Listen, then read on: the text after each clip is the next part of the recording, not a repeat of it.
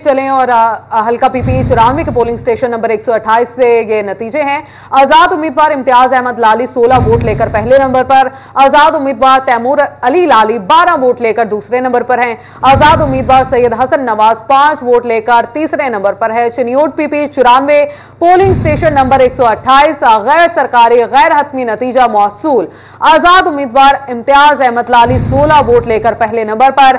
आज़ाद उम्मीदवार तैमूर अली लाली 12 वोट लेकर दूसरे नंबर पर आज़ाद उम्मीदवार सैयद हसन नवाज़ पाँच वोट लेकर तीसरे नंबर पर हैं। अपडेट कर रहे हैं आपको चनियोट के हल्का पीपी चौरानवे के गैर हतमी, गैर सरकारी नतज से पोलिंग स्टेशन नंबर एक सौ अट्ठाईस से गैर सरकारी, गैर हतमी नतज दे रहे हैं। आज़ाद उम्मीदवार इम्तियाज़ अली लाली 16 वोट लेकर पहले नंबर पर। आज़ाद उम्मीदवार तैमूर अली लाली 12 वोट लेकर दूसरे नंबर पर हैं, जबकि आज़ाद उम्मीदवार सैयद हसन नवाज़ पाँच वोट लेकर तीसरे नंबर पर है। एन ए चौरानवे चनियो टू में यह आता है।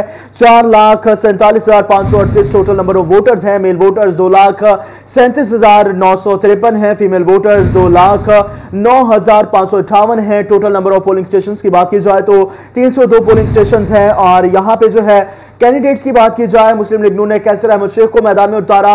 पीपल्स पार्टी से जो है सैयद अनायत अली शाह मैदान में उतरे, आज़ाद उम्मीदवार महर मोहम्मद खालिद मैदान में उतरे और जमात इस्लामी से जुल्फ़ार अली शाह। चिन्योट के हवाले से आपको मजीद भी बताएँ तो इसके अंदर दो कौमी और चार सूबाई हल्के हैं। मजमू तौर पर आठ लाख चौरासी हज़ार पाँच सौ उनासी वोटर्स हैं।